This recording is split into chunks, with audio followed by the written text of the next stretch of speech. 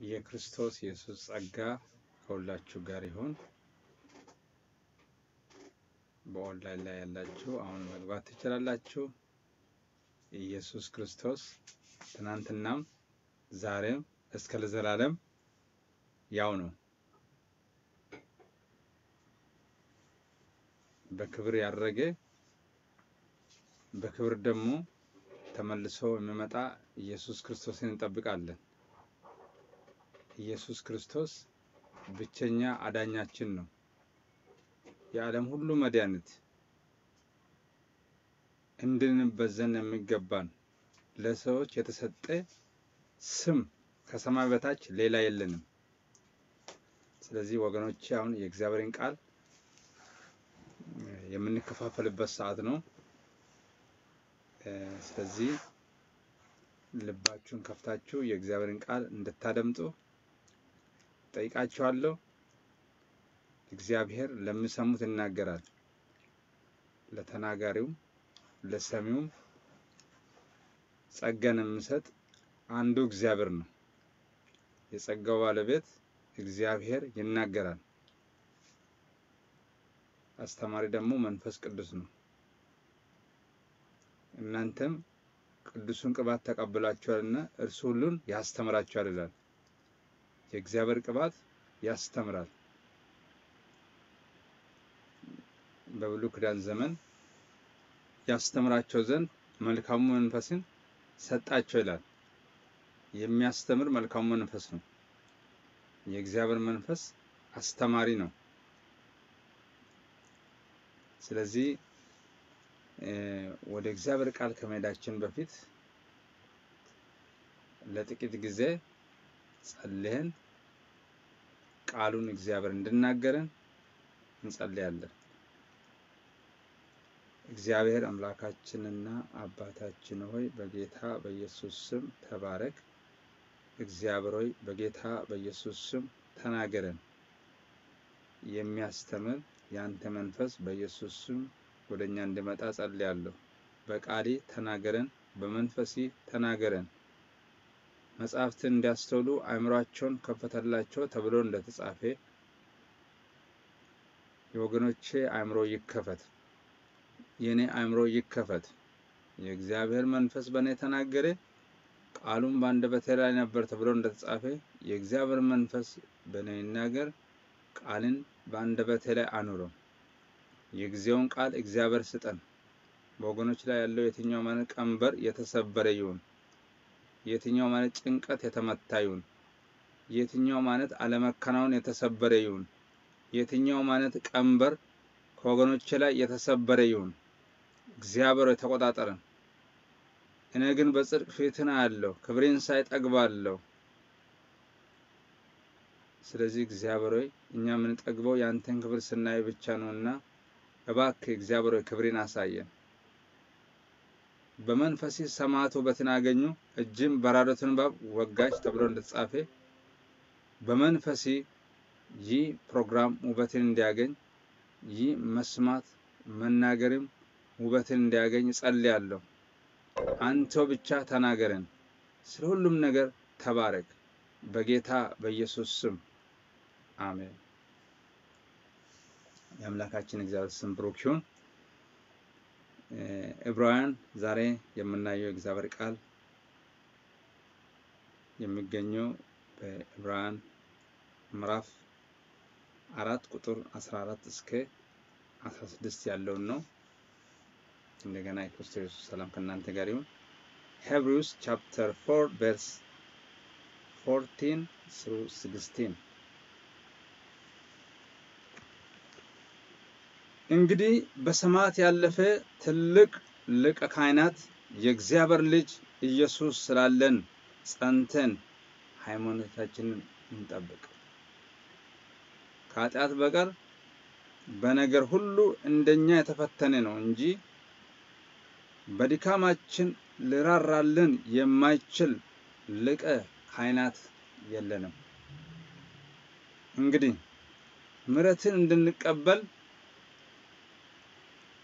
የሚያስፈልገንን በሚያስፈልገንም ጊዜ የሚረዳንን ጸጋ እንድናገኝ ወደ ጸጋው ዙፋን በእምነት እንቅረብ ይላል። በዚህ ስፍራ ላይ የምናገረው የዕብራውያን ጸሐፊ ነው። የዕብራውያን ጸሐፊ ስለማን ይናገራል? እንግዲህ ይላል በሰማያት ያለፈ ትልቅ ሊቀ ካህናት ነበር አለ። ድሮ ሊቀ ካህን ቅዱስ ቅዱሳንን የሚገባ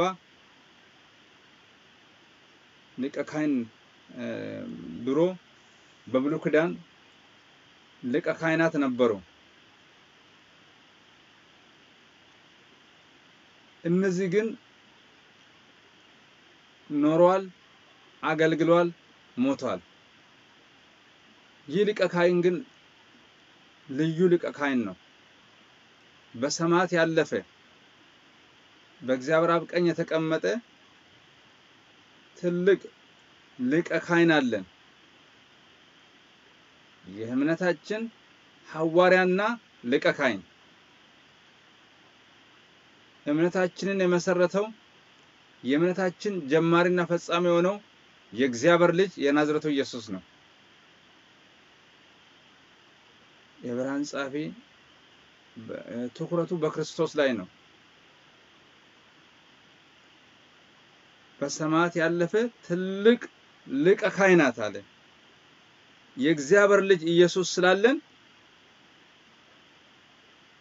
ኢየሱስ ስላለን ጸንተን ሃይማኖታችንን እንጠብቅላል። ጸንተን የሃይማኖታችን መጠበቅ ምስጢሩ ምንድን ነው? የእግዚአብሔር ልጅ የናዝረቱ ኢየሱስ ነው።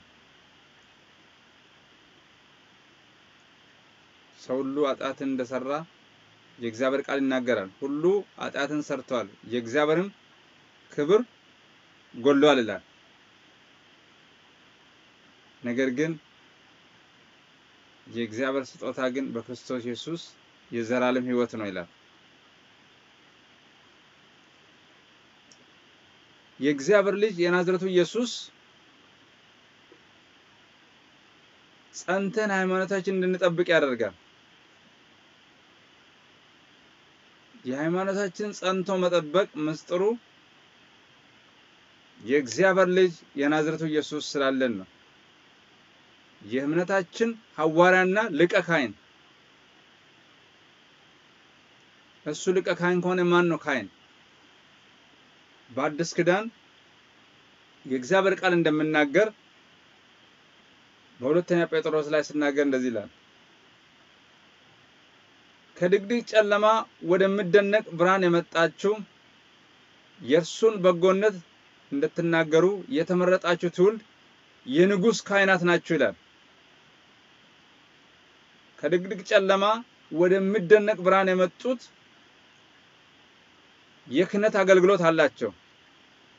ጳውሎስ በሌላ ስፍራ ሲናገር የማስታረቅን ቃል በእኛ ውስጥ አኖረ ይላል። በብሉይ ኪዳን ዘመን የማስታረቅ ቃል የነበረው በካህናት ብቻ ነበር። ማስታረቅ የምችል ከካህን ውጪ ማንም ሊያስታርቅ አይችልም። በአዲስ ኪዳን ግን እግዚአብሔር ከድቅድቅ ጨለማ ወደሚደነቅ ብርሃን ለመጡት ሰዎች ምንን ሰጣቸው? የማስታረቅን ቃል በውስጣችን አኖረ። የማስታረቅ ስልጣንን እግዚአብሔር ሰጥቶናል። ዛሬም እኛ ካህናት ነን፣ የአዲስ ኪዳን ካህናት። ማንም የዳነ የእግዚአብሔር ልጅ የሆነ ስሙን ለተቀበሉት ለተመረጡት ሁሉ ግን የእግዚአብሔር ልጅነትን ስልጣንን ሰጣቸው ይላል። የእግዚአብሔር ልጅ የእግዚአብሔር ልጅነት ስልጣን ያላቸው ማንኛውም ወገን የክህነት አገልግሎት አለው። ስለዚህ በዚህ ደስ ልለን ይገባል። እኛ ካህናት ነን። በአዲስ ኪዳን የተለየ ካህን የለም። የተለየ ካህን ያለው በሰማያት ያለፈ በእግዚአብሔር ቀኝ የተቀመጠ የእግዚአብሔር ልጅ የናዝረቱ ኢየሱስ ብቻ ነው። እሱ ሊቀ ካህናችን ነው። እሱ መሪያችን ነው። እኛ ካህናት ነን። ክብር ለእግዚአብሔር ይሁን። የእግዚአብሔር ስም የተመሰገነ ይሁን። እኛ ካህናት ነን። አንዳንድ ጊዜ እንዘናጋለን።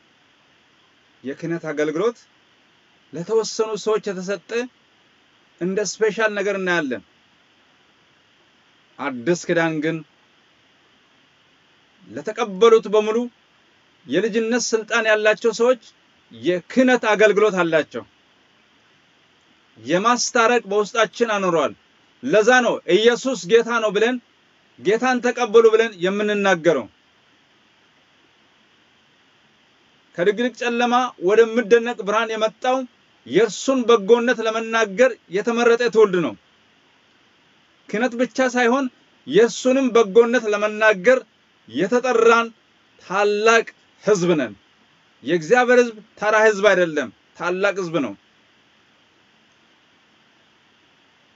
የማይሞት ሊቀ ካህን፣ ሞትን ያሸነፈ ሊቀ ካህን፣ ማንም ሊገባ የማይችል ስፍራ የገባ ኃጢአትን ያልሰራ ሊቀ ካህን አለን። በብሉይ ኪዳን የነበረው ሊቀ ካህን ግን ኃጢአተኛ ሊሆን ይችላል፣ ኃጢአተኛ ነበር። ነገር ግን በአዲስ ኪዳን ኃጢአትን ያላወቀው ካህን አለን። ፍጹም የሆነ ካህን የእምነታችን ሐዋርያ የሆነው የእግዚአብሔር ልጅ የናዝረቱ ኢየሱስ ነው። ስለዚህ ይላል ጸንተን ሃይማኖታችንን እንጠብቅ ይላል። ጸንተን ሃይማኖታችን የመጠበቁ ምስጢር ምንድን ነው? አንድ ሊቀ ካህን አለን፣ በሰማያት ያለፈ በእግዚአብሔር አብ ቀኝ የተቀመጠ በክብር በክብር ያረገ ለመላእክት የታየ ዳግም ደግሞ በክብር መላእክቶች በቅዱሳን መላእክቶች ልመጣ የሚመጣ የእግዚአብሔር ልጅ የናዝረቱ ኢየሱስ ነው። ስለዚህ ሃይማኖታችንን እንጠብቅለን። ሃይማኖታችንን የሚያስጠብቀን አንድ ጠበቃ አለን። ማንም የማይረታው በማንም የማይረታ ሞት ሊይዞ ያልቻለው የዓለም ሁሉ መድኃኒት ለሰላሙ ፍጻሜ የሌለው የእግዚአብሔር ልጅ የናዝረቱ ኢየሱስ ነው።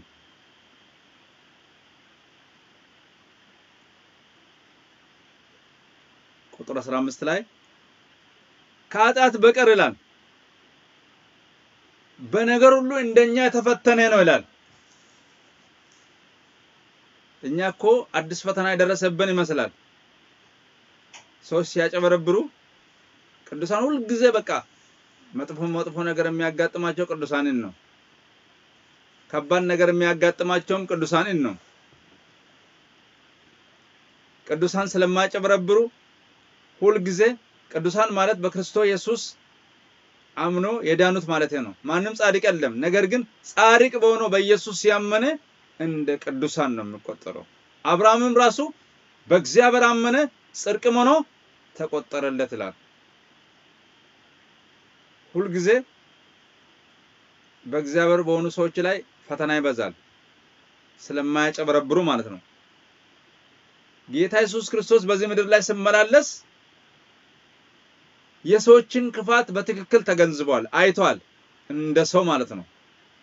ኃጢአትን አልሰራም እንጂ ማንም በተፈትኖ ተፈትኗል።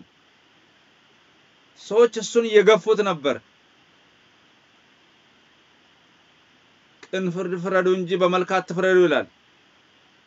እርሱን እየናቁት ነበር። የጸራቢ ልጅ ያሉት አንተን አናቅም እያሉ የእሱን ስልጣን ዝቅ ያደረጉ ነበር። መሲህ ሆኖ መጥቶ ግን እንደ መሲህ እንደ መሲህ በሱ አልተገለገሉም። ንቀት ነበራቸው። የእሱን ስራ ለማጣጣል ሁልጊዜ ይሯሯጡ ነበር፣ ይሽቀዳደሙ ነበር። ብዙ መከራ አይቷል። ረሃብ አይቷል፣ ችግር አይቷል፣ መገፋትን አይቷል። ስለዚህ ለኛ የሚራራልን ሊቀ ካህን አለን። እሱ በዚህ ምድር ላይ ማንም አጋጅ በሌለበት ጊዜ በፈተና ሲያልፍ ዛሬም መከራ በመከራ ውስጥ ያልፉትን የሚያልፉትን ሰዎችን ሊያግዝ ይችላል። ምን ያህል ለኛ እንደምሰማ ምን ያህል ለሱ እንደምሰማ አይቷል። ምን ያህል ብቸኝነት እንደተሰማው አይቷል። ስለዚህ በድካማችን ይራራልናል። ደግሞ ይህ ሊቀ ካህን ጨካኝ ሊቀ ካህን አይደለም። በድካማችን ሁሉ የሚራራልን ሰው ድካም አለው። በድካማችን ሁሉ የሚራራልን በሰማያት ያለፈ ሊቀ ካህን አለን።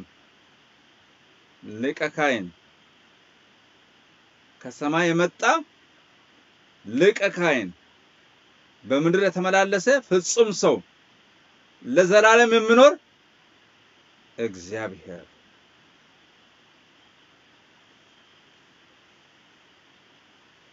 ስለዚህ ቁጥር 16 ላይ ምን ይላል? እንግዲህ ምሕረትን እንድንቀበል ይላል። ምሕረትን እንድንቀበል በሚያስፈልገንም ጊዜ የሚረዳንን ጸጋ እንድናገኝ ወደ ጸጋ ዙፋኑ በእምነት እንቅረብ ይላል። ሃሌሉያ! እንዴት ደስ ይላል! ምሕረትን እንድንቀበል ምሕረት ለሮጤ ወይም ደግሞ ለወደደ አይደለም ይላል እግዚአብሔር ቃል ስናገር። ምሕረት ለሮጤ ወይም ደግሞ ለወደደ ሳይሆን ከምምር ከአንዱ ከእግዚአብሔር ዘንድ ነው ብሎ ይናገራል። ምሕረትን እንድንቀበል ይላል። ምሕረትን ለመቀበል እኛ ሁልጊዜ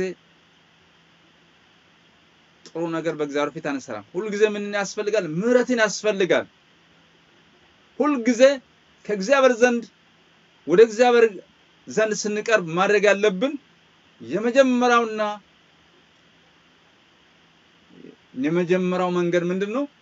ምሕረትን መቀበል ነው። ምሕረትን መቀበል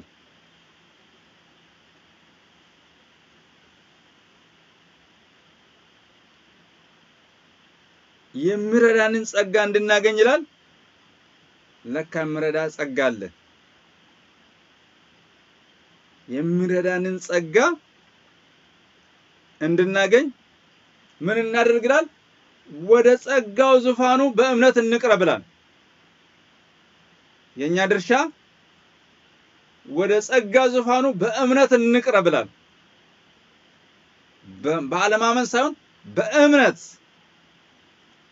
ምሕረትንም ለማግኘት የሚያስፈልገንን ጸጋ እንድናገኝ በሚያስፈልገንም ጊዜ የሚረዳን ጸጋ የሚረዳን ጸጋ ለማግኘት ምሕረትንና የሚረዳን ጸጋ ለማግኘት ምን እናደርግ ይላል?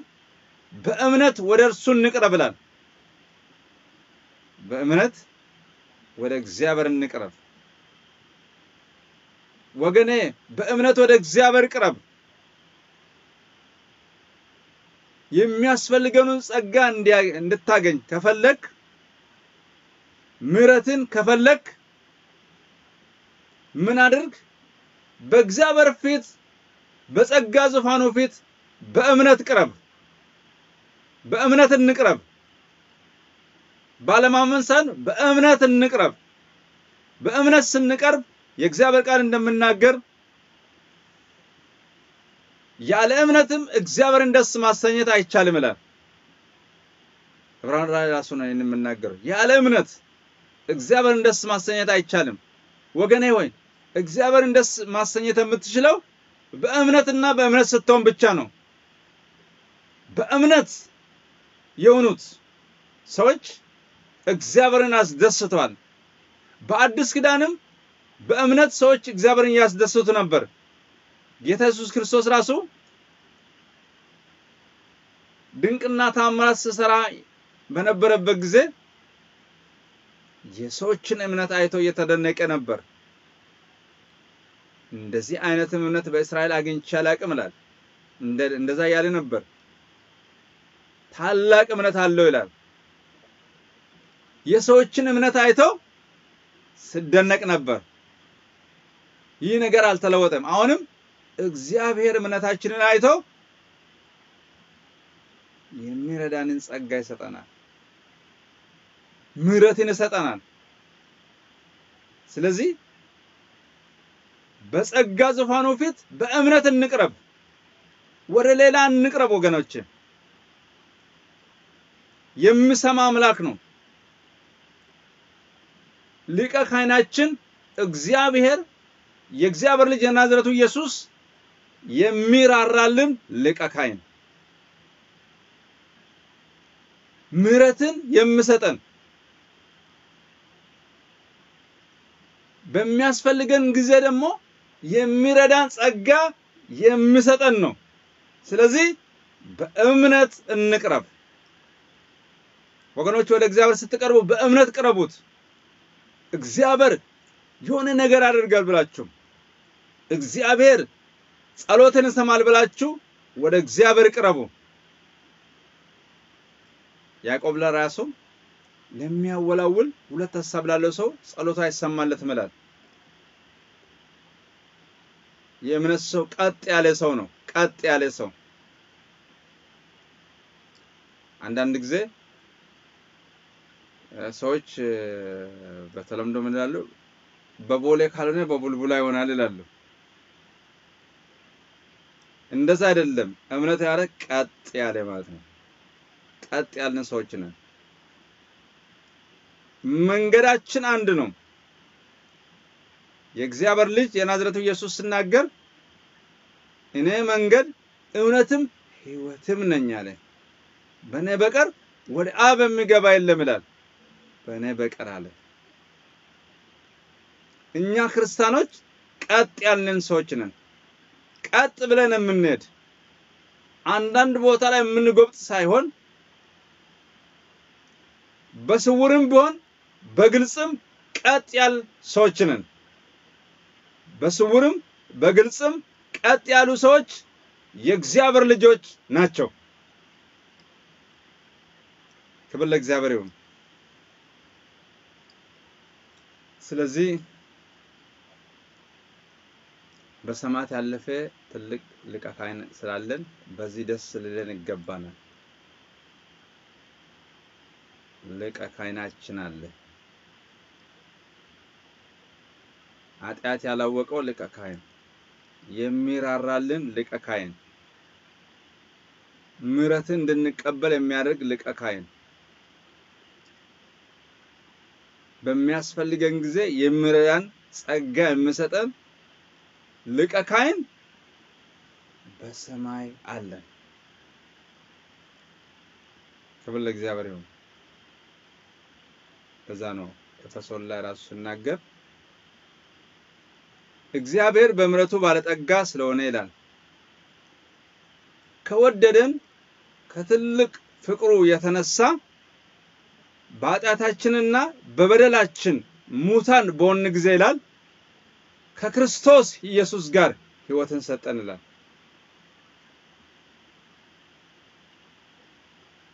እኛ የተቀመጥነው ከክርስቶስ ኢየሱስ ጋር ነው። በሰማያዊ ስፍራ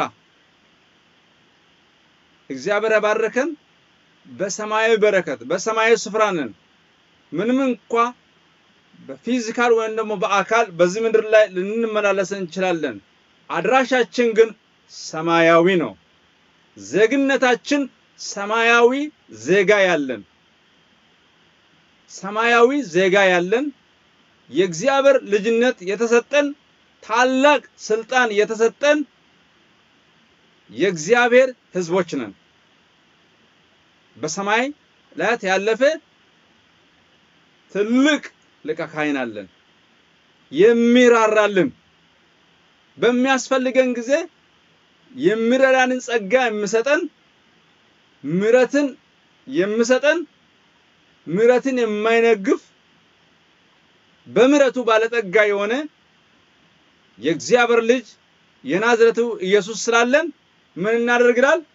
ጸንተን ሃይማኖታችንን እንጠብቅላል። ጸንቶ መጠበቅ ነው። ክብር ለእግዚአብሔር ይሁን። በዚሁ አበቃለሁ።